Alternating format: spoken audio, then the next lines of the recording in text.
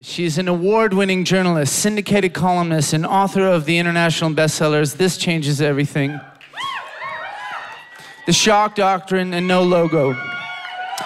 She writes a regular column for The Nation and The Guardian and is a contributing editor at Harper's. Ladies and gentlemen, give it up for Naomi Klein.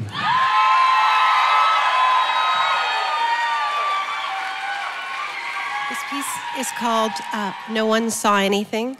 It's about a young woman named Bella. That's her up there. On July 20th, 2013, Bella Laboucan McLean fell 31 stories off the balcony of a condo tower in downtown Toronto. She had been at a small gathering inside one of the building's many glass boxes. There were five other people in the condo that night. A resident of a lower floor heard the sound of her body falling and alerted the police. Bella was 25 years old, Cree from northern Alberta. The police deemed her death suspicious, I'll say. Five people besides Bella in an 800 square foot condo. All of Bella's belongings still inside purse, wallet, shoes, phone. Yet for 12 hours after her deadly fall, no one in the apartment calls the police. It is not until the building is crawling with cops going door to door, trying to identify the body of that beautiful young woman, that one of those five people picks up the phone to report Bella missing. Everyone who was there claims they saw nothing knows nothing. No one will be a witness.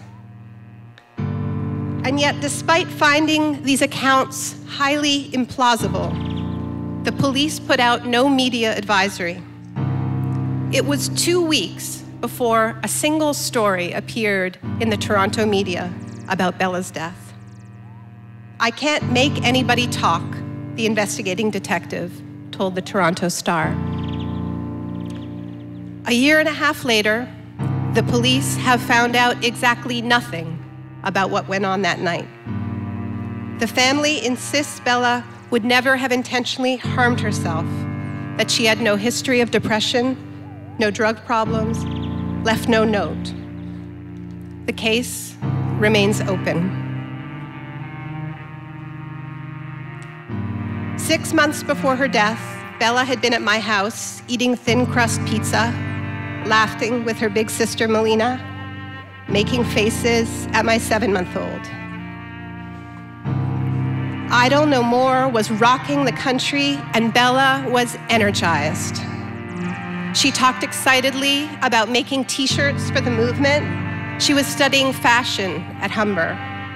Her plan was to become a designer, combining traditional Cree artwork with her own modern flair. She graduated soon after, her dreams, as her family said, within arm's reach.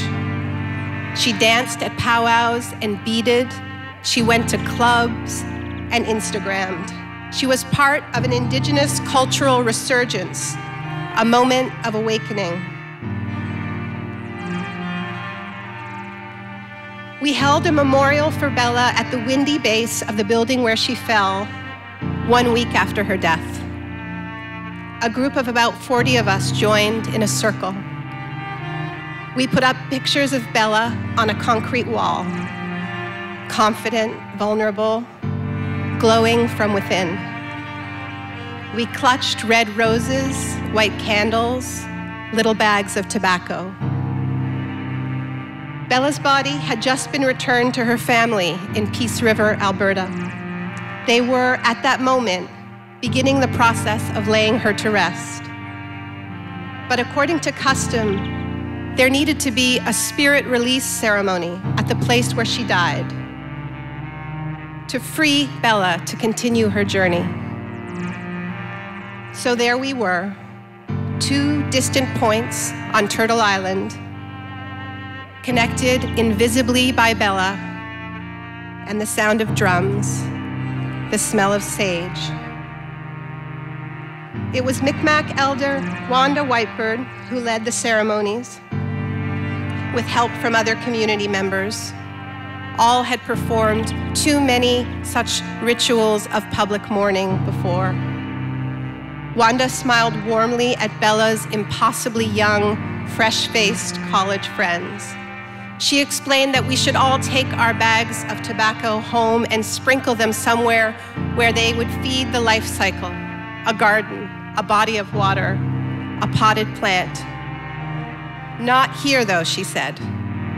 Nothing grows in this place. I think that most of you know this place. It's that part of our city that feels like no place. The official name is City Place.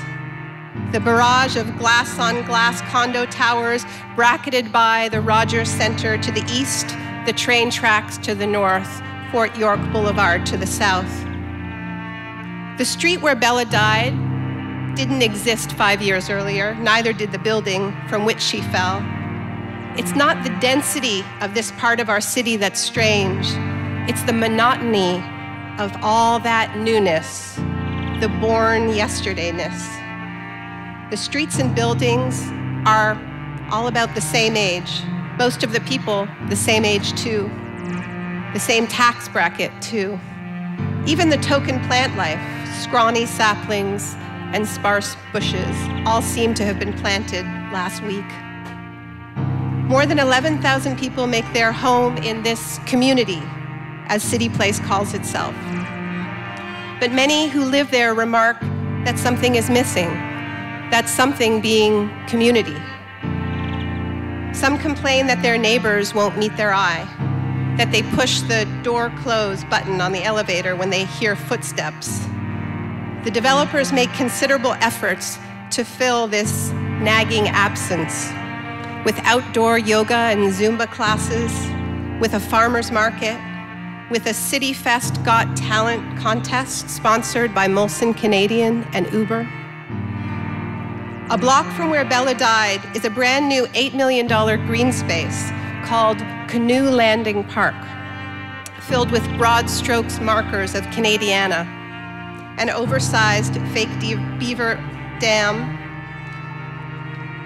bright fishing bobbers, that electric red canoe that looks like it's about to launch itself into the Gardiner Expressway. These nautical pieces of urban furniture, designed by Douglas Coupland, are meant to connect the city to the world that was here before the concrete was poured.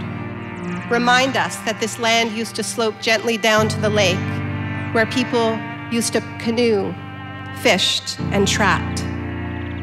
Yet it is striking that a park that purports to link Canadians to their past makes no mention of the first peoples, the Haudenosaunee, the Anishinaabe, the Huron-Wendat, who actually paddled these waters as a way of life. At the opening ceremony for the new park, then City Councilor Adam Vaughan promised that it would become City Place's heart and soul. It's going to take more than a big red canoe. It is one of the most painful details of Bella's death that her body fell not onto the street, but into the building's outdoor communal space, a terrace scattered with fancy barbecues and mesh furniture, a place meant to help residents meet their neighbors, to build community. Yet as we gathered to remember Bella, just one person asked us to tell them about the young woman who had died in their midst. Most walked their dogs right past us. Within an hour of the memorial, all the tributes to Bella, the pictures, flowers, and candles, had been cleared away. The gray concrete returned to its clean, blank state. Nobody saw anything again. I met Bella through her sister Melina Laboucan Massimo, a dear friend. Melina is one of this country's most important and inspiring voices, speaking out against the health and environmental impacts of the Alberta tar sands. Raising the alarm on tar sands development is personal for Melina. Her father's side of the family is Lubicon Cree, and their traditional territory has been devastated by oil and gas infrastructure, poisoned by pipeline spills.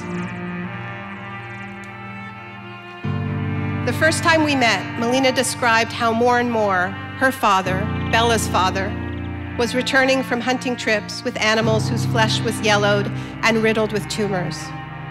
Two weeks before Bella died, I had been in the tar sands with Melina at the annual Tar Sands Healing Walk. The gathering is like nothing I've seen anywhere. Hundreds of people walk in silence for an entire day through an unimaginably scarred landscape by the sprawling open pit mines, by the massive tailing ponds that kill ducks on contact, stopping only for prayer and ceremony. Melina sees strong connections between the two very different kinds of violence that have so powerfully marked her life. Violence against Mother Earth is violence against women, she says. The two are inextricably linked. Here is one link for us to consider. The greatest barrier to our government's single minded obsession with drilling, mining, and fracking the hell out of this country is the fact that indigenous communities from coast to coast are exercising their inherent and constitutional right to say no.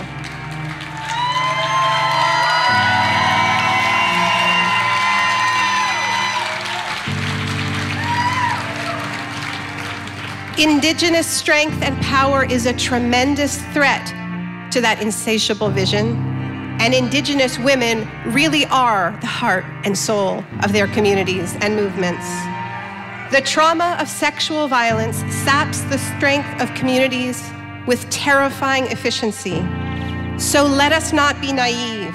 The Canadian government has no incentive to heal and strengthen the very people it sees as its greatest obstacle. Justice, when it comes, will be demanded, not granted.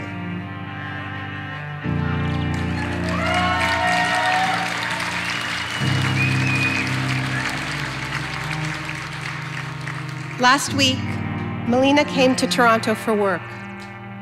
She said she was ready to see where Bella had died. The night before, I warned her that it was a very unwelcoming place, all hard surfaces and sharp edges. I told her what Wanda had said about nothing growing. But then something beautiful happened. It snowed all night, the first real snowfall of the year, fresh and fluffy. As we set out that morning, the city crawled instead of raced, whispered instead of roared. It even softened the hardness of that place. Melina said it reminded her of home. Audrey Huntley from No More Silence smudged and sang quietly. The Filipino security guard used a barbecue lighter to burn the sage and Melina sat for the better part of an hour in the exact spot where Bella fell. She craned her neck to look up all 48 stories, snowflakes falling into open eyes. She grabbed handful after handful of snow until her hands were red and raw. She wrote, I love you, next to Bella's name in the powder. And she breathed one word into the snow covered city, angry. A different word filled my head that day shame. Shame that this city had failed Bella.